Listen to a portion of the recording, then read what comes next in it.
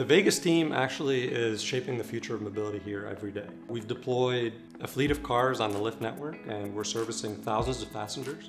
And we're logging hundreds of thousands of miles on highways and city streets every month, all with the intention to, to make the future of mobility a reality. With our teams of engineers, with our teams of operators, we all come together to put good technology on the road. I'm Veronica and I'm shaping the future of mobility. I'm Carolyn and I'm shaping the future of mobility. Soy Eric y es nuestro movimiento. I'm Irene and I'm shaping the future of mobility. I'm Juan and I'm shaping the future of mobility. I'm Abe and it's our move.